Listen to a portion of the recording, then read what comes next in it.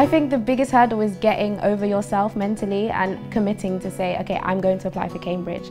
Realizing that if other people can do it, if you have the grades, if you have the confidence, you, you should be able to do it too. You can get psyched out by how intelligent everyone is and you can almost convince yourself you're not good enough or intelligent enough or smart enough or rich enough to be here. Personally, I have struggled with that a lot, being feeling like, oh, am I meant to be here? Should I have gone to another medical school? Should I have accepted another offer?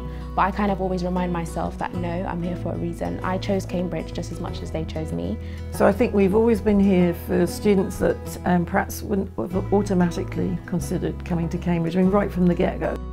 I think we're just expanding what we already do. I found the application process relatively straightforward and they seem like they were really interested not only in kind of your passions and your interests but also what you're hoping to do in the future.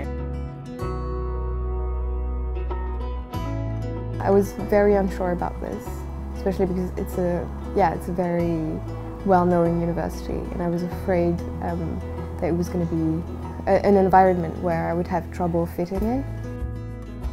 It's just a very nice, a very comfortable, inclusive environment, so you feel very accepted here, and like fitting in is not a problem at all.